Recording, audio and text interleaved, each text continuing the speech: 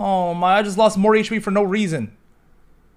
We have extra, I mean, also can just drop this shit or. I'm picking!